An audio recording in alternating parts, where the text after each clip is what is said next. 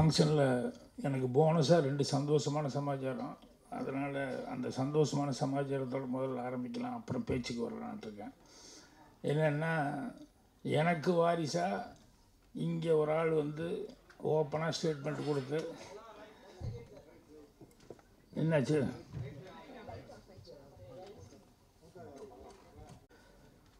முதல் சந்தோஷமான சமாச்சாரம் எனக்கு வாரிசாக ஒரு ஆள் கிடச்சிருக்காரு அப்படிங்கிறது அது அவரே ஸ்டேட்மெண்ட் கொடுத்தாரு கேட்கும்போது அவ்வளோ சந்தோஷமாக இருந்தது. என்னென்னா நம்ம அனந்த்நாகில் டான்ஸ் மாஸ்டர்கிட்ட வந்து ப்ளீஸ் என்னை விட்ருங்க எனக்கு வராத சமாச்சாரம். தயவுசெய்து என்னை காப்பாற்றுங்க அப்படின்னு சொல்லி அவர் ஓப்பன் ஸ்டேட்மெண்ட் கொடுத்தது அப்படிங்கிறது எனக்கு உடனே என்னோடய டைலாக் ஞாபகம் வருது. நான் சினிமாவில் வேறு யாருக்கும் பயப்படுறதே இல்லை. இந்த டான்ஸ் மாஸ்டர்னா மட்டும்தான் எனக்கு அலர்ஜி அவர் ஃபஸ்ட்டு படத்துலேயே அவர் வந்து ஓப்பன் ஸ்டேட்மெண்ட் கொடுத்தாருங்கிறது ரொம்ப சந்தோஷமாக இருந்தது. அதோட அவரது இன்னொன்று அவர்கிட்ட பாராட்டப்பட வேண்டிய ஒரு சமாச்சாரம். அவர் ஹீரோவாக நடிச்சிருக்காரு. ஆனால் வில்லனை வந்து நீ ஹீரோவாக வருவேன்னு அடையாளம் காமிச்சு பேசினார். அது எனக்கு ரொம்ப பிடிச்சது. தன் கூட சக இது நடித்தவங்கள வந்து அவர் இல்லை அவர் ஸ்மார்ட்டாக இருக்கார் அவர் நல்லா வருவார் எனக்கு நம்பிக்கை இருக்குது அப்படின்னு சொல்லி அவர் ஓப்பனாக அது வந்து மனசு இருக்கிறது அப்படியே பேசினார். அப்போ தான் நானும் ஜாக்குவார் அவங்களையே அவங்களெல்லாம் அங்கே உட்கார வச்சுருக்காங்க? அப்படின்னா அப்புறம் நான் கூப்பிட்டுக்கிறேன் அப்படின்னு சொல்லி சொன்னார். ஸோ அடுத்தவங்களை அப்படி மனம் திறந்து பாராட்டுறதுங்கிறது ஒரு பெரிய சமாச்சாரம். அடுத்து ரெண்டாவது சந்தோஷமான சமாச்சாரம் நமக்கு எப்பவுமே போனோம்னா இந்த இந்த ஸ்கூலில் வாத்தியார்கிட்ட பிடிக்காது அடி உழுகும் திட்டு உழுகும் இம்போஷன் கொடுப்பாங்க அதை பண்ணுவாங்க இது பண்ணுவாங்க.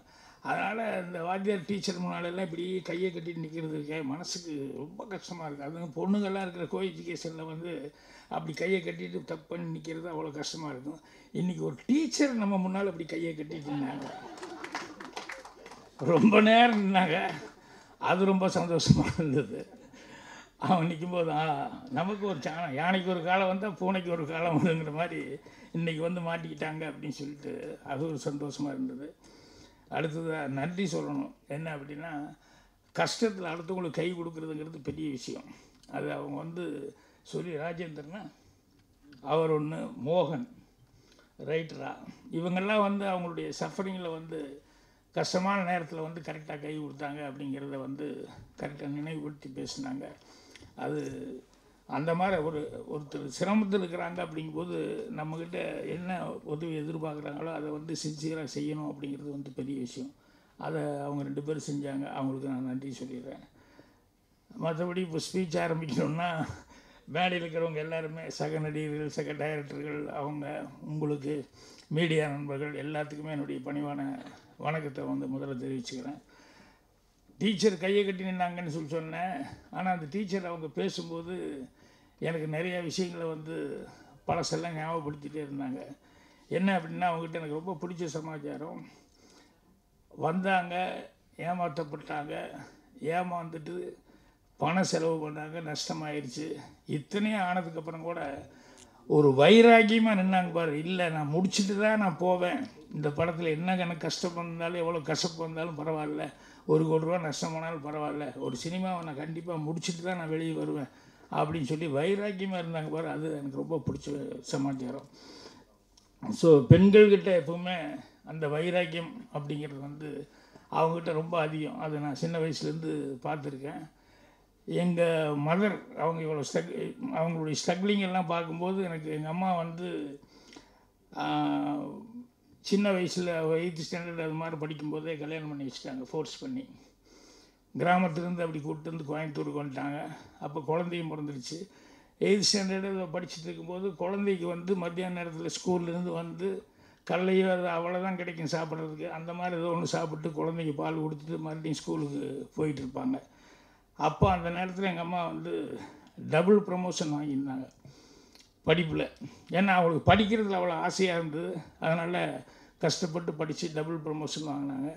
அந்த டபுள் ப்ரமோஷன் வாங்குறப்போ வந்து ஒரு தடவை ஸ்கூலுக்கு வந்து சீஃப் கெஸ்ட்டு வந்து ஒரு ஃபாரின் லேடி ஒரு டாக்டர்மா ஒரு ஃபாரின்லேருந்து ஒரு டாக்டர் லேடி வந்தாங்க. அவங்க ஏதோ வந்தப்போ அந்த ஸ்கூலில் சீஃப் கெஸ்ட்டாக வந்தப்போ இந்த மாதிரி டபுள் ப்ரமோஷன் வாங்கியிருக்காங்க அப்படின்னு சொல்லி சொன்னோடனே அந்த பொண்ணை பார்த்து ரொம்ப அப்ரிஷியேட் பண்ணி அந்த எங்கள் அம்மாக்கிட்ட வந்து அமராவதி ஃப்யூச்சரில் ஏதாவது யூ நீட் எனி ஹெல்ப் அப்படின்னு சொல்லிட்டு எனக்கு எப்போ வேணாலும் எந்த ஹெல்ப் வேணாலும் என்கிட்ட நீ கேட்கலாமா அப்படின்னு சொல்லிட்டு நான் செய்யறதுக்கு ரெடியாக இருக்கிறேன். ஏன்னா பார்க்கும்போது பார்த்தா கொஞ்சம் ஏழை பொண்ணு மாதிரி இருக்குது அப்படின்னு சொல்லிட்டு அவங்க வந்து அவங்க ஏதோ கார்டு அவங்க இதெல்லாம் கொடுத்து நம்பர் ஏதோ கொடுத்துட்டு போயிருக்காங்க. அப்போ எங்கள் வீட்டில் எங்கள் அம்மா படிக்கிறதுக்கு அந்த அளவுக்கு வசதி இல்லை. அப்புறம் சரி நிறுத்திடலாமா? குழந்தையும் பிறந்தாச்சு நிறுத்திடலாமா? அப்படிங்கிற லெவலில் ப்ராப்ளம் இருந்துட்டு இருக்கும்போது எங்கள் அம்மாவுக்கு எப்படியாவது படிச்சு தான் ஆகணும். அப்படின்ட்டு எங்கள் அப்பா கொஞ்சம் கொஞ்சம் கரெக்ட் இல்லை. அதனால தான் எங்கள் அம்மாவுக்கு ப்ராப்ளம் அதனால் எப்படியாவது படிக்கணும்னா அவங்க அப்பா- ஒரு விதத்தில் இடைஞ்சலாக இருக்கார். அவர் வந்து வந்து உட்காந்துக்கிட்டு இல்லை இல்லை நீ வந்தாகணும். கிராமத்துக்குங்கிற அளவுக்கு பிரச்சனைலாம் நடந்துட்டுது அப்போ எங்கள் அம்மா வந்து எங்கள் மாமாவோட ஷர்ட்டு அந்த ஸ்லாக் ஷர்ட்டு வாங்கி அதை போட்டுக்கிட்டு எங்கள் மாமாவோட வேஸ்ட் எடுத்து கட்டிட்டு ஒரு தலைக்கு ஒரு உருவாலை கட்டு கட்டிட்டு எங்கள் அம்மா நேராக இங்கேருந்து ஈரோட்டுக்கு வந்து பஸ் ஏற்றி விட சொல்லி எங்கள் தாத்தா பாட்டிகிட்ட சொல்லி நான் அந்த ஃபாரின் லேடி அங்கே தான் இருக்காங்க. ஈரோட்டில் அந்த கோசாஸ்பத்திரியில் வேலை பார்த்துருக்காங்க நான் அங்கே போய் ஹெல்ப் கேட்டு நான் இப்படியே படிச்சுக்கிறேன் அப்படின்னு சொல்லி கேட்ட உடனே வீட்டில் சரின்னு அனுப்பிச்சி விட்டாங்க. வேறு யாருக்கும் தெரியாமல் எங்கள் அம்மா அந்த ஈரோடு ஹாஸ்பிட்டலுக்கு வந்து அப்புறம் அந்த லேடிக்கிட்ட டாக்டர் அம்மாக்கிட்ட கேட்டு இந்தம்மா நான் படிக்கணும். எனக்கு என்ன பண்ணுன்னு தெரியல. அப்படின்னு சொல்லும்போது சரி இப்போ நீ படிக்கிறதுங்கிறது வந்து இப்போ நீ படித்த வேலைக்கு வந்து உனக்கு நான் கவர்மெண்ட்டில் வேறு மாதிரி ஒரு சொல்கிறேன் அந்த மாதிரி கேளு அப்படின்னாங்க. என்ன அப்படின்னு சொன்னால் எயிட் அந்த மாதிரி ஏதோ படிச்சிருந்ததுனால எங்கள் அம்மா வந்து கவர்மெண்ட்டில் மிட்வைஃப்னு ஒரு கோர்ஸ் இருக்குது அது இந்த பிரசவ தாய் செய் நடவடிக்கை இந்த பிரசவ இதுதான் பார்க்குறது அந்த மாதிரி ஒரு இது மிட்வைஃப்னு அந்த காலத்தில் இருந்தது. அதுக்கு உனக்கு நான் ட்ரைனிங் கொடுத்து உனக்கு நான் அதில் அனுப்பிச்சி வைக்கிறேன் அப்படின்னு சொல்லிட்டு எங்கள் அம்மா வந்து அந்த ட்ரைனிங் அனுப்பிச்சி விட்டு அதுக்கப்புறம் மிட்வைஃபாக அந்த கோபிக்கு பக்கத்தில் இருக்கிற கிராமங்கள் ஒரு எட்டு கிராமம் பத்து கிராமத்துக்கு வந்து மிட்வைஃபாக எங்கள் மதுரை வேலை பார்க்க வச்சாங்க. அதில் தான் நான் இங்கேருந்து அப்போல்லாம் இங்கே தாத்தா பாட்டி கேர் ஆஃபில் தான் நான் வந்து கோயம்புத்தூரில் படிச்சுட்டு இருந்தேன். அந்த மாதிரி நேரத்தில் வந்து லீவுக்கு போகும்போது கோபிக்கு போகும்போது அங்கே எல்லாருமே டாக்டர்மா டாக்டர்மான்னு சொல்லிட்டு ரொம்ப மரியாதையோடு இது பண்ணுவாங்க. ஸோ எங்கள் அம்மாவுடைய ஸ்ட்ரகிளிங் எல்லாம் வந்து இவங்க பேசும்போது இவங்க சொல்லிட்டு இருக்கும்போது கண்ணு கலங்கினாங்க அதுன்னெல்லாம் சொல்லும்போது அப்போ எவ்வளோ வைராக்கியம் வச்சுருந்தா ஒரு பொம்பளை அப்படிங்கிறது வந்து ஒரு வைராக்கியம் வச்சுட்டு அந்த வைராக்கியத்துக்கு எவ்வளோவெல்லாம் கஷ்டப்படுவாங்க அப்படிங்கிறத வந்து நம்ம லைஃப்லேயே நம்ம சந்திச்சோமே அப்படிங்கிறது வந்து அதனால தான் எனக்கு லேடிஸ்னால் ஒரு தனியாக ஒரு ஃபீல் அப்படிங்கிறது இருந்தது. என் படத்தில் ரிஃப்ளெக்ட் ஆகுதுன்னு அதுக்கு அதுதான் காரணம். அது மட்டும் இல்லாமல் கூட்டு குடும்பமாகவும் இருந்ததுனால எனக்கு எங்கள் அத்தை அவங்கெல்லாம் நான் தான் வீட்டிலேயே சின்ன பையன். ஸோ அந்த சர்க்கிள்லேயே வளர்ந்ததுனால அந்த லேடிஸ் சைக்காலஜி அப்படிங்கிறதெல்லாம் வந்து எனக்கு என் ஏரியாமே என் படங்கள்லாம் வந்து வந்தது. ஸோ இன்றைக்கி ஒரு லேடி டைரக்டர் ஆனால் இத்தனை இருந்து கடைசியில் இன்றைக்கி வாங்கி கட்டிட்டு இருக்கிற ஒரு ஒரு வாரமாக லேடிஸ் வந்து நான் எதுவும் எனக்கு ஆகாதவங்கள மாதிரியும் நான் எதுவும் அவங்கள ரொம்பவும் இது பண்ணுற மாதிரியும் என்னை ஃபோக்கஸ் பண்ணி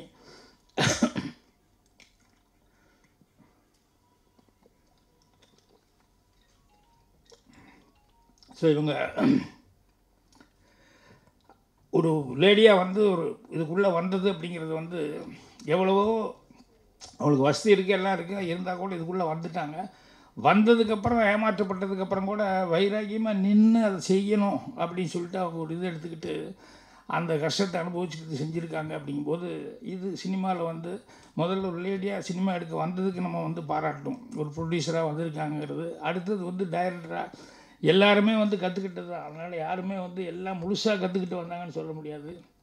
ஏன்னா இப்போல்லாம் வந்து முன்னால் மாதிரி வந்து அசிஸ்டண்ட்டாக இருந்து தான் கற்றுக்கணும் அப்படிங்கிறது இல்லை. ஏன்னா நிறைய சினிமாக்கள் வருது. அதுக்கப்புறம் எங்கே பார்த்தாலும் எல்லாமே ஓப்பனாக நடக்கிறதுனால வந்து எல்லாருமே கல்யாண வீட்டிலேருந்து வீடியோ எடுத்து அவங்களே எடிட்டிங்னா என்னங்கிறது டெலிஃபோன்லேயே எப்படி எடுக்கிறது அப்படிங்கிறது டெலிஃபோன்லேயே எப்படி எடிட் பண்ணுறது அப்படிங்கிறது வேறு மாதிரி படங்கள்லாம் எடுத்து எடிட் பண்ணுறது இப்படி எல்லாமே ஏகப்பட்டது வந்துடுச்சு அதனால் டெக்னிக்கெல்லாம் வந்து யாரும் சொல்லிக் கொடுக்கணுங்கிற அவசியம் இல்லை.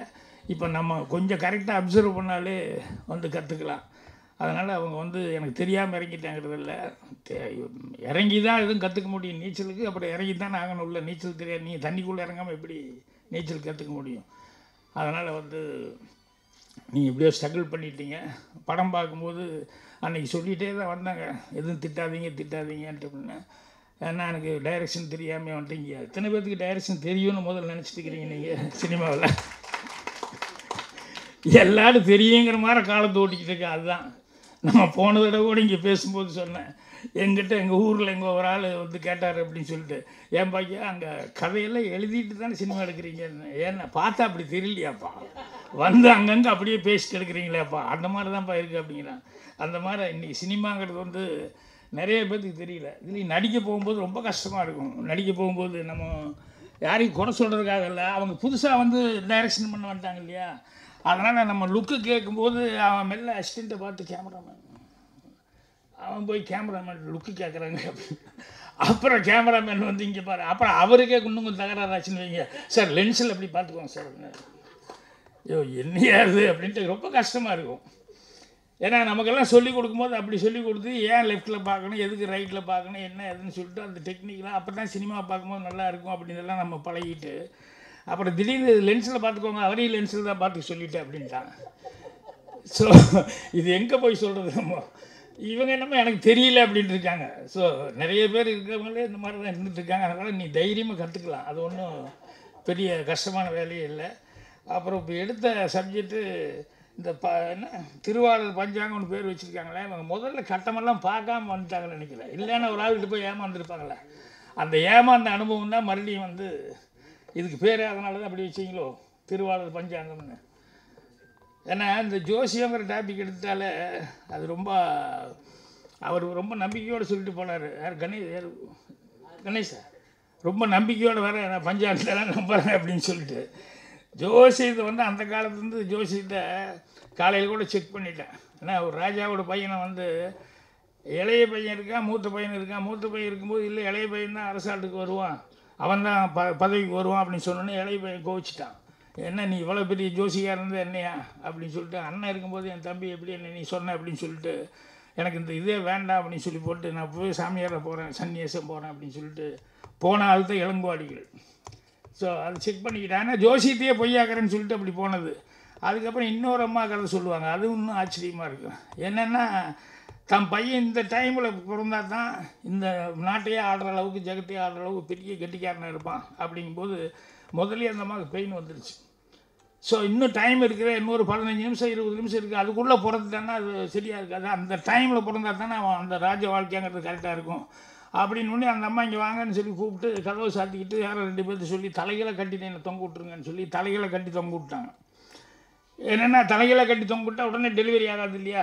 ஸோ அந்த டைமுக்கு வந்து இல்லை இது ரிஸ்க்கு நீங்கள் செத்து போயிடுவீங்க அப்படி இப்படின்னு சொல்லி என்னானாலும் என் பையன் பிறக்கிறது அந்த டைமில் தான் பிறக்கணும்னு அந்த அம்மா வைராக்கியத்தோட அந்த டைம் வரைக்கும் இருந்து அப்படியே தலையெல்லாம் கட்டி தங்க விட்டு கண்ணெல்லாம் ரத்தம் மாற ஆகி க- இதெல்லாம் ஆகி அப்புறம் கடைசி நிமிஷத்தில் இறக்கலாம்னு சொல்லி இறக்கி அந்த குழந்தைய பெற்றாங்களாம் ஸோ அவனுக்கு பேர் கூட ஏதோ செங்கண்ணன் அப்படிங்கிற மாதிரி வரும் அப்படின்னு சொல்லுவாங்க. அதனால் ஜோசியத்தை பற்றி சொல்லும்போது நிறைய கதைகள் இருக்கா இல்லையா அப்படிங்கிறதுல வந்து இருக்கும்.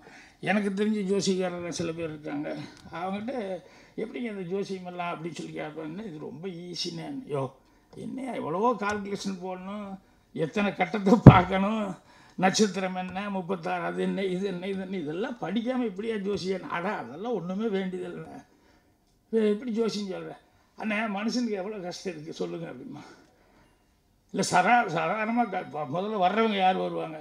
ஓரளவுக்கு ஒரு நாற்பது வயசு ஐம்பது வயசு இப்படி தானே ஜோசியம் பார்க்க வருவாங்க? பதினெட்டு வயசு இருபது வயசுலேயே வர போகிறாங்க இல்லை. ஸோ அவங்களுக்கு என்ன சாதாரணமாக கஷ்டம் இருக்குன்னு சொல்லுங்கள் ஒன்று பொண்ணு கல்யாணம் இருக்காது இல்லை பையனுக்கு வேலை இருக்காமல் இருந்திருக்கும். இல்லை வீட்டில் யாருக்காவது உடம்புக்கு சரியில்லாமல் இருந்து அதில் அவஸ்தைப்பட்டிருப்பாங்க. இப்படி ஒரு அஞ்சு நாலஞ்சு தானே இருக்கும். இதுக்கு தானே ஜோசியம் பார்க்க வருவாங்க. ஆ அப்படின்னு சொல்லி வந்துடனேமே நான் பையன் அப்படின்னு ஸ்டார்ட் பண்ணுவேன். அப்படி ஜாதகத்தை பார்த்து ஆமாங்க ரொம்ப நாளாக வேலை இல்லாமல் இருந்துட்டு இருக்காங்க. வர வர வர வர அப்படின்னு சொல்லிட்டு அப்புறம் அங்கேருந்து லீடு பண்ணேன்.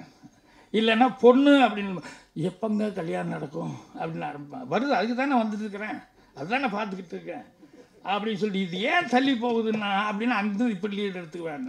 இப்படி ஜோசி சொல்கிறவங்க வந்து அவன் இருக்கிறதே நாலஞ்சு கஷ்டம்தான் இந்த நாலஞ்சு கஷ்டத்துக்கு தகுந்த மாதிரி தான் நாங்கள் ஸ்டார்ட் பண்ணிடுவோம் அப்படின்னு சொல்லிட்டு ஜோசியம் சொல்கிறவங்க அப்படி நிறைய பேர் இருக்காங்க. நானே இந்த ஜோசியத்தை வச்சுட்டு எங்கள் வீட்டில் ரொம்ப அடிக்ட்டு எங்கள் தாத்தா பாட்டி அவங்கெல்லாம். அதனால் என்னென்னா எங்கேயாவது ரோட்டில் ஜோசிக்காரன் போனான்னா உடனே கூப்பிட்ருவாங்க கூப்பிட்டு அவனுக்கு காசு கொடுத்து ஏதாவது சொல்லு சொல்லுன்னு சொல்லிட்டு. இது என்ன அது என்னன்னு கேட்பாங்க. அப்போ எங்ககிட்ட ஒரு தடவை சினிமாவுக்கு போகிறது செலவு காசு இல்லை. அப்படியே பார்த்த ரோட்டில் ஒரு ஜோசிக்கார மாட்டினான். இங்கே வாயா அப்படின்னு சொல்லி சொன்னேன். அவனுக்கு எங்கள் வீட்டு நிலவரம் எல்லாம் சொல்லி கொடுத்தேன். ஒரு அண்டர்ஸ்டாண்டிங் அவங்ககிட்ட. ஒரு எக்ரிமெண்ட் போட்டுக்கிட்டேன். உனக்கு இவ்வளவு எனக்கு இவ்வளவு அப்படின்ட்டு. என் வீட்டு சமாச்சாரத்தெல்லாம் சொல்லி அப்புறம் நானே வீட்டில் போய் எங்கள் தா உங்கள் பாட்டி எங்கள் அம்மாட்ட பிரமாதமான ஜோசிக்காரன்னு சொல்கிறாங்க ஊருக்குள்ளே எல்லாரும் பேசிக்கிறாங்க. அப்படியா? ஆமாம் வந்திருக்காரு. அப்படி சொல்லி அவனை உட்கார வச்சுட்டு போயிட்டேன். இவன் காசு வாங்கிட்டு வீட்டிலேருந்து இந்த வழியாக வருவானா? அவன் அந்த வழியாக போக ஆரம்பிச்சிட்டான். காசு வாங்கிட்டு. அப்புறம் அவனை தேடி பிடிக்கிறதுங்கிறது பெரிய விஷயமா இருந்தது. இப்படி ஜோசியங்கிறதுல வந்து நம்புறது நம்பாமல் இருக்கிறது நிஜமாக இருக்கிறது நிஜம் இல்லாமல் இருக்கிறது. நம்ம ஊரில் சினிமாவில் ஒன்று சொல்லி கேள்விப்பட்டேன். அதை கேட்டப்போ ரொம்ப ஷாக்காக இருந்தது. நல்ல நடிகர் ஒருத்தர். அவருக்கு ஏகப்பட்ட சினிமா புக் ஆகிருக்குது பிரமாமாக வந்து நடிச்சுக்கிட்டு இருக்காரு. ஏகப்பட்ட பேர் அட்வான்ஸ் கொடுத்துருக்காங்க. நம்ம சினிமாலேயே இருக்கிற ஆள் கட்டமெல்லாம் நல்லா பார்க்குற ஆள். அவர் திடீர்னு போய் அவர்கிட்ட உனக்கு இந்த மூணு மாதம் அதுக்கப்புறம் உன் மேலே ரிஃப்ளெக்டர் விழுகாது. சன்லைட்டே படாதுற அப்படின்ட்டான். ஷாக் ஆகிட்டான் இத்தனை அட்வான்ஸ் வாங்கி வச்சுருக்கிறேன் நான்? என்ன இப்படி சொல்லி போட்டானே அப்படின்னு சொல்லிட்டு உன்னை அடிக்கிற அளவுக்கு போய் எனக்கு கரெக்டாக அப்படி சொல்லுது. நான் என்ன பண்ணுறது இருக்கிறதா நான் சொல்ல முடியும் உண்மையிலேயே அடுத்தது மூணாவது மாதம் நாலாவது மாதம் அஞ்சாவது மாதம் அப்புறம் ஃபேட் அவுட் ஆகிற மாதிரி மார்க்கெட்டே போயிடுச்சு. இது எங்கிட்ட அடிக்கடி சொல்லுவாங்க. இப்படி ஒருத்தன் சொல்லி அறம்பாடின மாதிரி சொன்னான்னு அவனை கூப்பிட்டு நான் அறம்பாடலாம் பாடல இருக்கிறது என்னவோ அதை தான் நான் பேசினேன். இது இப்படி தான் ஆகும் அப்படிங்கிற மாதிரி ஜாதகத்தில் வந்தது அதை வச்சுக்கிட்டு நான் சொல்லிட்டேன் அப்படிமா ஸோ சில நேரங்களில் ஜாதகங்கள்ங்கிறது வந்து கரெக்டாக வர்ற மாதிரி இருக்கும். சில நேரங்களில் வந்து ஏன்னா அது கணிக்கிறோமா அப்படிங்கிறது இருக்குல்ல அது ரொம்ப முக்கியம். ஏன்னா ஜோசித்து டோட்டலாக முடியாதுன்னு சொல்லி சொல்லிட முடியாது. ஒரே விஷயத்தை வந்து கணிக்கிற விதம் அப்படிங்கிறது இருக்கே அதில் மிஸ் ஆகிடுச்சுன்னா கூட தப்பாகி போகும். ஏன்னா ஒருத்தன் தண்ணி சேர்த்திட்டு இருப்பா ஒரு பொம்பளை. ஒரு ரெண்டு பேர் ரோட்டில் வந்துட்டுருக்கவங்க அந்த அம்மா யாருமே இல்லைன்னு தனியாக தண்ணி சேர்ந்துட்டு இருந்தாங்க. திடீர்னு வந்து பின்னால் வந்து இவங்க தண்ணி குடிக்கணும். ரொம்ப நேரமாக நடந்து வந்துட்டுருக்கனால வெயிலில் அம்மா அப்படி நாங்கள் பக்கத்தில் போய் அந்த அம்மா ஷாக் ஆகி சேர்ந்துட்டு இந்த குடத்தை விட்டுருச்சு. அது இந்த மண் கூட நேராக போய் டம்முன்னு தண்ணீர் விழுந்து மண் கூட உடஞ்சி போச்சு. என்னப்பா திடீர்னு இப்படி வந்து கூப்பிட்டீங்க எனக்கு பயத்தில் நான் விட்டேன் அப்புறம் இவங்க சாரி சொல்லியிருக்காங்க. இல்லைம்மா தண்ணி குடிக்கிறதுக்காக கூப்பிட்டேன் சரி கொஞ்சம் வேறு குடத்தை நான் சேர்ந்து இது பண்ணி தரேன்ட்டு வேறு குடத்தை சேர்ந்து தண்ணி ஊற்றும்போது யார் பண்ணீங்கன்னா நாங்கள் வந்து ஜோசிகாரர் ஒரு வா- பெரிய ஜோசிகார்கிட்ட ரெண்டு பேரும் வித்தை கற்றுக்கிட்டு இப்போ தான் வந்துக்கிட்டு இருக்கோம். ஐயோ அப்படியா? ரெண்டு பேருமே ஜோசியம் கற்றுட்டிங்களா ஆமாண்ணே. எனக்கு ஒரு ஜோசியம் சொல்லுங்கள் என்னென்ன என் புருஷன் விட்டு போய் ஒரு ஏழு எட்டு வருஷம் ஆகிப்போச்சு. என் புருஷன் வருவானா வரமாட்டான்னு எனக்கு தெரியல. ஒரு அஞ்சாறு வருஷத்துக்கு மேலே ஆகிப்போச்சு. எனக்கு ஏதாவது சொல்லிட்டு போங்களேன் நல்ல ஜோசிகாரன்னு சொல்கிறீங்களேண்ணே ஒன்று வருவாரா வரமாட்டாருன்னா ரெண்டு பேரும் ஒரே நேரத்தில் ஒருத்தர் வந்துடுவாருன்னா ஒருத்தர் வரமாட்டார் அப்படின்னா. என்னைய ரெண்டு பேரும் ஒரே இடத்துல படிச்சீங்க ஒருத்தர் வந்துடுவாருங்கன்னா ஒருத்தர் வரமாட்டேன்னு சொன்னீங்கன்னா எப்படின்னா ஒருத்தர் இல்லை இன்றைக்கி வந்துடுவார் இன்றைக்கே வர்றாரு. சாயங்காலம் மத்தியானத்துக்குள்ளே சாயங்காலத்துக்குள்ளே வந்துடுவார் அப்படின்னு இப்போ இந்த அம்மாவுக்கு ஒரே ஷாக்கு என்னடா இது அப்படின்னா. அவனுக்கு கூட படித்தவன் அவனுக்கு ஒரே ஷாக்கு அவன் வரமாட்டேங்கிறேன் இவன் வந்துடுவான்னு சொல்கிறாங்களே அப்புறம் அந்த அம்மா மத்தியானம் இருந்து சாப்பிட்டே போயிருங்க எது வருவான்னு சொல்கிறீங்களே எதுக்கு இருங்க அப்படின்னு சொல்லி அதுக்குள்ளே ஊருக்குள்ளே எல்லாம் விஷயம் போனோடனே மத்தியானம் இவங்க சாப்பிட்டு உட்காந்துருக்கும்போது பஸ்ஸு வருது. பஸ்ஸுலேருந்து அவன் புருஷங்கார இறங்கி வர்றான். இப்போ எல்லாருக்குமே ஷாக்கு அப்புறம் இந்த ஜோசிகாரனை ரொம்ப அப்ரிசியேட் பண்ணி அப்புறம் சாப்பாடுலாம் சாப்பிட்டு புறப்பட்டா அப்போ இந்த கூட போகும்போது அந்த அவன் ஃப்ரெண்டு கேட்குறான் எப்படிடா எனக்கு கட்டம் நான் கணிச்சேன் வராதுன்னு சொல்லி தான் எனக்கு கரெக்டாக தெரிஞ்சு நம்ம கற்றுக்கிட்ட வித்தியில் உனக்கு மட்டும் வரும்னு எப்படி தெரிஞ்சு நீ எதை வச்சு வராதுன்னு சொன்னேன் இல்லை நம்ம போய் அந்த அம்மா அம்மான்னு சொல்லி கூப்பிட்டுன்னு டப்புன்னு கையிலேருந்து குடத்தை விட்டாங்க நேராக குடம் போய் டம்முன்னு தண்ணிக்குள்ள விழுந்தது. குடம் உடஞ்சி போச்சு. ஸோ கைவிட்டு போயாச்சு அப்படிங்கும்போது இனிமேல் புருஷன் வர்றதுக்கு சான்ஸ் இல்லை. அதனால் அது போயிடுச்சு அப்படின்னு சொல்லி வரமாட்டான்னு சொன்னேன் நீ அதை வச்சு சொன்ன நானும் அதை வச்சு தான் சொன்னேன். என்னென்ன? கைவிட்டு போனது மண் மண் குடம். மண் மண்ணோடு சேர்ந்துருச்சு தண்ணி தண்ணியோடு சேர்ந்துருச்சு. அதனால் நம்ம சேர்றதுக்கான வாய்ப்பு இருக்குது இன்றைக்கி இன்றைக்கி வந்துடுவோன்னு நான் அதை வச்சு சொன்னேன். ஸோ ஒரே விஷயம் கணிக்கிறதுல வந்து இவன் என்ன கால்குலேஷன் பண்ணா அவன் என்ன கால்குலேஷன் பண்ணா அப்படிங்கிறது இருக்குது ஸோ அந்த மாதிரி ஜோசியத்தில் வந்து தப்பு ரைட்டுங்கிறத வந்து கரெக்டாக சொல்லிட முடியாது. இப்போ ஒருத்தர் சொல்லும்போது கூட சொன்னார் ராக்கெட் அனுப்பும்போது கூட அதெல்லாம் பா கரெக்டாக பார்த்து பஞ்சாங்கம் பார்த்து ஆனால் போய் சேரலையே. அந்த க- தொண்ணூத்தொம்பதே கால் இது போய் முக்கா கிணறு தாண்டி திடீர்னு ஸ்ட்ரகிளிங் ஆகி போச்சுல்ல அதனால் பொதுவாக ஜோசியம் அப்படிங்கிறதுங்கிறது வந்து நம்ம நீங்கள் வாங்க சினிமாவுக்கு வாங்க கண்டிப்பாக வருவீங்க. உங்களுக்கு யார் என்ன ஹெல்ப் பண்ணுறோமோ எல்லாமே பண்ணுறோம் ஆனால் இந்த கட்டத்தை நீங்கள் நம்பிட்டு வராதீங்க. என்னென்ன ஜோசியம் வந்து நல்லா இருக்குது அப்படின்னு நமக்கு சொல்லிட்டா இன்னும் புதுசாக உற்சாகம் வந்துடும் நமக்கு. தைரியமாக இன்னும் நல்லா செய்யலாம் அப்படின்னு சொல்லிட்டு புது உற்சாகத்தை நல்லா செய்வோம். சரியில்லைன்னு சொல்லி சொல்லிட்டான்னு வச்சுக்கோங்க. எது எடுத்தாலும் சந்தேகம் வந்துடும் ஆஹா இது கை வைக்கலாமா வேண்டாமா? முதலே ஜோசிகார் இப்படி சொல்லியிருக்கானே. இது நமக்கு செட் ஆகுமா? செட் ஆகாதா? அப்படின்னு சொல்லிட்டு நம்ம இருக்கிற அந்த எனர்ஜி கூட அது கூட டவுட்டுக்கு வந்துச்சு எப்பவுமே மனுஷனுக்கு சந்தேகம் மட்டும் வந்துட்டு அப்புறம் எல்லாமே தப்பாகி போகும். அதனால் அதை தெரிஞ்சிக்காமே நாளைக்கு என்ன நடக்காமல் தெரியாமல் இருக்கிற வரைக்கும் தான் லைஃபே சந்தோஷமாக இருக்குது தெரிஞ்சதுன்னா லைஃப்பில் என்ன சந்தோஷம் இருக்குது அதான் சொல்லுவாங்க ஸ்கிரிப்ட் வந்து நான் எல்லாம் ஸ்க்ரீன் ப்ளே அது இதுன்னு சொன்னேன். பெரிய கெட்டிக்காரன் ஸ்கிரிப்டில் கெட்டிக்காரங்கிறது கடவுள் தான். மனிதர்களை பூரா நம்மளை வந்து ஸ்கிரிப்ட் பண்ணிவிட்டு நாளைக்கு என்ன அப்படிங்கிறது நமக்கு தெரியாமல் இருக்கிறதுனால தான் நமக்கு சுவாரஸ்யமாக இருந்துட்டுருக்கு அந்த அளவுக்கு வந்து அன்றைக்கி ஒருத்தர் டைலாக் எழுதும்போது கூட என் கூட இருந்தவர் தான் ஒருத்தர். அவர் நல்லா எழுதியிருந்தார். ஏன்னா உலகமே நாடகம் ஆயிடா எப்படிங்கிறாங்க? சரி எல்லாம் நடிகர்கள் நம்ம எல்லாம் அப்படின்ட்டாங்க. பாக்டர் யாருன்னு கேட்டான் என்னடா அப்படின்னு சொல்லி கேட்டால் அவனையே கேட்கும்போது அப்போ சொன்னான் கடவுள் தான். நம்மளையெல்லாம் பண்ணிவிட்டு நாடக மேடை நம்மளையெல்லாம் நடிக்க விட்டு கடவுள் தான் பார்த்துக்கிட்டு இருக்காரு அப்படின்ட்டு. அதனால் நம்ம பிறந்ததுக்கு என்ன அப்படிங்கிறது அதை மட்டும்தான் நம்ம பார்க்கணும். ஏன்னா எல்லாத்துக்குமே நம்ம எப்போ பிறந்தோன்னு தெரியும். ஆனால் ஏன் பிறந்தோங்கிறத நிறைய பேருக்கு தெரியும் இல்லை அதுதான் ஒரு இளைஞர் அதே மாதிரி இப்போ இன்றைக்கி பேசும்போது கூட என்னென்ன இன்னைக்கு நாட்டில் இப்போ தெரியுமா? இருபத்தி அஞ்சு வயசுக்கு மேலே எவனுமே உயிரோடு இருக்கிறது இல்லைங்க. எழுபத்தஞ்சு பர்சன்ட் செத்துடுறாங்க. என்ன எப்படி சொல்கிறீங்க ஆமாங்க இருபத்தஞ்சி வயசுக்கு மேலே யாரும் உயிரோடு இருக்குது எழுபத்தஞ்சி பர்சன்ட் செத்து போயிடுறாங்க. அப்படின்னா என்னென்ன? ஆனால் ஒன்று அவங்களெல்லாம் எழுபத்தஞ்சி வயசுல தான் புதைக்கிறாங்க. அதுதாங்க உண்மை அப்படின்னு.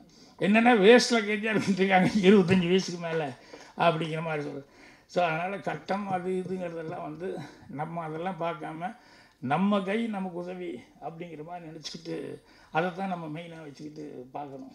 இப்போ ஒரு கேரக்டர் கூட பண்ணும்போது சொல்லியிருந்தேன் ரெண்டு பேர் போகும்போது குட் நைட்டு சொல்லிட்டு போகணும். அப்போ ஒருத்தர் கூப்பிடுவாங்க வாடா அப்படின்னு. என்ன சொன்னேன்? இல்லை நாளைக்கு காலையில் பார்க்குறேன் அதனால் குட் நைட் சொன்னேன். பலாரம் விட்டான் இப்போ போய் படுத்தோன்னா காலையில் நீ எந்திரிப்பேன்னு உனக்கு தெரியுமா? போய் தூங்குற. காலையில் எந்திரிக்கிறது உங்கள் இருக்குது இது உங்கள் கையில் இல்லையில்ல? இல்லை அப்புறம் எப்படி குட் நைட்டு ஒரு ஓ தூக்கு காட் நைட் இனிமேல் அப்படி சொல்லு. அப்படிங்கிற மாதிரி சொல்லி ஸோ இந்த மாதிரி ஜோசியம் அப்படிங்கிறதெல்லாம் வந்து நம்ம அதை வந்து அவசியம் பார்க்கணும் அப்படிங்கிறது அவசியம் இல்லை. அதனால் அடுத்த இது வந்து நீங்கள் சொன்னீங்களே ராஜேந்திரன் அவரை நம்புங்க. அப்புறம் மோகனுக்காரு அவரை நம்புங்க. அச்சா இந்த மாதிரி நடிகர் உங்களுக்கெல்லாம் ஹெல்ப் பண்ணாங்களே இவங்க நமக்கு. அதனால் சினிமாவில் வந்து ஏன்னா நீங்கள் இத்தனை பேர்த்த எப்போ சினிமாவில் வந்து ஒரு நல்ல ப்ரொடியூசர் ரொம்ப தேவை. ஸோ இவ்வளோ பேர்த்துக்கு சாப்பாடு போடுற அளவுக்கு இவ்வளோ பேர்த்துக்கு வேலை கொடுக்குற அளவுக்கு ஒரு ப்ரொடியூசர் கிடைக்கிறாருங்கிறது வந்து இண்டஸ்ட்ரிக்கு ஒரு பெரிய ப்ளஸ் பாயிண்ட்டு அதனால் கண்டிப்பாக வந்து அந்த உங்களுடைய அந்த நல்ல எண்ணத்துக்கு உங்களுக்கு கண்டிப்பாக ஒரு லாங் ஸ்டாண்டிங்காக இங்கே ஒரு இடம் கிடைக்கும். வேலைங்கிறது போக போக கற்றுக்கலாம் அதனால் அட்வான்ஸ் வாழ்த்துக்கள் தெரிவிச்சுக்கிறேன். வெற்றி விழாவை சந்திப்போம். நன்றி வணக்கம். Thank you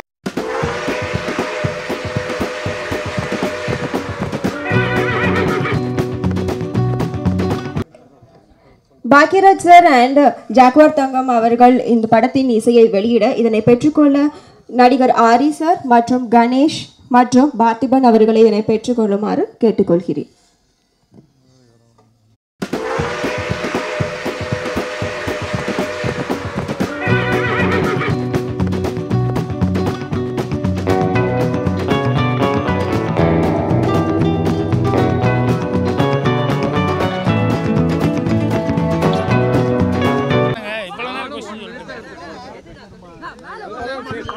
என்ன என்ன என்ன சொல்றது இவ்வளவு பேர் சேர்ந்து என்ன சார் கேட்க போறீங்க கேள்விகள் முதல்ல கேட்டிருக்கப்பா இல்ல இல்ல இப்படி ஸ்ட்ரகிள் பண்ணா நான் என்ன சொல்றதுன்னு எனக்கு தெரியலையே. இல்ல என்ன ஏதாவது கேட்கறதுன்னு ஒரு கேள்வி யாராவது கேளுங்க நான் சார் யார் என்ன கேட்க விரும்புறீங்க? பெண்கள் ஆமா சார். பெண்கள் சார் பெண்கள் சம்மந்தமாக இப்போ கூட நான் சொன்னேனே. இப்போ கூட இப்போ இது சொல்லணும்னு நினச்சிட்டு வரல. நான் வந்து இன்றைக்கி வந்தது அந்த அம்மா அவ்வளோ ஸ்ட்ரகிள் பண்ணி அழுதாங்க இல்லையா? ஒரு கோடி ரூபா நஷ்டமாகி போய் கூட அவங்க அழுதாங்க. எவ்வளோ வைராக்கியத்தோடு அவங்க இன்னும் போராடிட்டு இருக்காங்கங்கும் போது எனக்கு அம்மா ஞாபகம் வந்தது. அதனால் வந்து நான் அதை ரிமைன் அது எனக்கு ஞாபகம் வந்தனால அதை சொன்னேன். ஸோ ஒருத்தர் வந்து ஏன் படத்தில் வந்து லேடிஸ் பற்றி அவங்க மேலே ஒரு நல்ல அபிப்பிராயங்கள் அதெல்லாம் வருது அப்படின்னு சொன்னோம்னா அது பேஸு சின்ன வயசுலேருந்து நம்ம வந்து பார்த்துட்ருக்கோம் இல்லையா? அது பேஸு அப்படி இருக்கிறதுனால தான் படத்தில் வந்து அதெல்லாம் ரிஃப்ளெக்ட் ஆகிருக்கு அவன் என்ன வந்து நீ அவங்கள வந்து குத்தம் சொல்கிற குறை சொல்கிறேன்னா அது ஆதங்கம். ஏன்னா அவங்கள வந்து லேடிஸ் யாரும் தப்பாக பேசக்கூடாது. லேடிஸ் ஒன்ஸ் பாதிப்புக்குள்ளானா ஆம்பளைக்கு பாதிப்பு பாதிப்பை விட பெண்களுக்கு பாதிப்பு வந்ததுன்னா அது தாங்கிக்க முடியாத அளவுக்கு அது ரொம்ப மோசமான ஒரு இதாக போகும். அந்த ஒரு ஃபீலிங் அதுதான் சொல்கிறத ஒழிய வேறு எந்த காரணம் கிடையாது. அதை வந்து நீங்கள் கேப்ஷன் போடும்போது அவங்க காரணம் அது இல்லைன்னு சொல்ல அது தப்பு தான் அவங்க பண்ணது தப்பு தான் ஆனால் இவங்களும் கொஞ்சம் கவனக்குறைவாக இருந்தால் தப்பாக அந்த த இதை தவிர்த்துருக்கலாமே. அதுக்கு நீங்களும் ஒரு காரணம் ஆகிட்டீங்களே இது தான் சொன்ன அவங்க போடும்போது நீங்கள் எல்லோரும் படிக்கிறதுக்கு இன்ட்ரெஸ்ட்டாக இருக்கணுங்க. பொருளாட்சி சமூகத்துக்கு பெண்கள் தான் காரணம் என்று பாக்யராஜ் அப்படின்னு சொன்னோம்னா அப்புறம் படிக்கிறவன் வாங்கி இன்ட்ரெஸ்ட்டாக தான் படிப்பான். அப்புறம் இதை கேள்வி கேட்கும்போது சின்மையிலேருந்து எல்லோரும் திட்டு தான் செய்வாங்க. பட்டுக்கோட்டை பிரபாகர் கூட எழுதிக்காது தப்பு அப்படின்னு. ஆனால் நான் ஒரிஜினலாக என்ன பேசினாங்கிறது ஒன்று இருக்கு இல்லையா? அதனால் லேடிஸ் பற்றி பேசுகிறதுங்கிறது வந்து அவங்க மேலே இருக்கிற மரியாதை காரணமாக தான் பேசுகிறோம் ஆச்சுங்களா? அவங்கள வந்து யாரும் தப்பாக சொல்லக்கூடாது அப்படிங்கிறதுல அவங்கள வந்து ரொம்ப நம்ம மதிக்க லேடிஸ் ஃபஸ்ட்னு எதுக்கு சொல்கிறோம் கர்ப்பஸ்ரீன்னு சொன்னோம்னா அது பண்ணு இது பண்ணும் அப்படின்னு சொல்லிட்டு எல்லாம் இது பண்ணு. இது வந்து ஆண்களுக்கே உண்டான இயல்பான ஒரு சுவாபம் ஸோ இது நான் சொல்லும்போது வந்து நீங்கள் ஆணாதிக்கம் ஆணாதிக்கம்னா என் படத்தில் எப்போவுமே ஆணாதிக்கம் இல்லை. என்னை வந்து சரிதாக வந்து முடியை பிடிச்சிட்டு உழுக்கிற மாதிரிலாம் சீன் எடுத்துருக்கேன். என்ன ஆணாதிக்கம்? ஸோ அதனால் எப்போவுமே என்னை விட என் படத்தில் பெண்களுக்கு தான் அதிகமாக முக்கியத்துவம் கொடுக்குறேன். அதே தான் ரியல் லைஃப்லேயே கூட நான் கொடுத்துக்கிட்டு இருக்கிறேன். அதனால் யாரோ அவங்களுடைய சந்தோஷத்துக்காக எதையோ ஒன்று பண்ணி திரிச்சு விட்டாங்க அது சர்ச்சையாயிருக்கு. அவ்வளோதான் குறிப்பிட்டு வந்து இது ஆந்திரா பெண்கள் கிளப்பி விட்டாங்க அப்படின்னும். இப்போ தொடர்ந்து சமீபத்தில் ரெண்டு நாளா வந்து எனக்கு- ஆண்கள் அமைப்பு வந்து உங்களுக்கு சார் ஆண்கள் அமைப்பு வந்து நான் எந்த தப்பும் பண்ணல. அதனால் பாதுகாப்பு கொடுக்கணும் எனக்கு வரணும் அப்படிங்கிறதெல்லாம் வரல. அதே மாதிரி எனக்கு ஃபோனில் வந்து நீங்கள் சொன்னது நியாயம். உண்மையான பேரண்ட்ஸ் ஒவ்வொருத்தரும் மனசில் வந்து வயிற்றில் நெருப்பு கட்டிட்டு இருக்காங்க. அந்த பேரண்ட்ஸுடைய ஃபீலிங் தான் நீங்கள் சொல்லியிருக்கீங்க அப்படின்ட்டு எங்கிட்ட நிறைய பேர் சினிமாவில் இருக்கிறவங்களே எத்தனையோ பேர் சொன்னாங்க. பட் இதெல்லாம் நான் வந்து அவங்களெல்லாம் தேவையில்லாமல் ஏன் உள்ள இழுக்கணும். அப்புறம் என் மேலே இருக்கிற கோபத்தை அவங்க மேலேயும் காட்டுவாங்க. ஆ இந்த ஆள் இப்படி சொன்னால் அந்த ஆள் இப்படி சப்போர்ட் பண்ணான்னு அவங்களையும் தேவையில்லாமல் சர்ச்சைக்கு உள்ளாக்குவாங்க அதனால் ரொம்ப சந்தோஷங்க நன்றிங்க அப்படின்னு சொல்லி சொல்லிட்டேன். அவ்வளோதான் இது ஒன்றும் பெரிய மேட்டர் இல்லை சார் இது வந்து முழுசாக பார்த்தாங்கன்னா தெரிஞ்சுக்குவாங்க. சிலர் வந்து இது காரணமா இருந்தாங்க அவங்க தான் ஆந்திர பெண்கள் தெரியாமல் நம்ம சொல்ல முடியாது சார் அங்கிருந்து வந்தது அது கண்ணு கூட தெரியுது. ஏன்னா அங்கிருந்து அங்கே இருக்கிற சேர்பர்சன் தான் இங்கே இருக்கிற சேர்பர்சனுக்கு அனுப்பிச்சிருக்காங்க.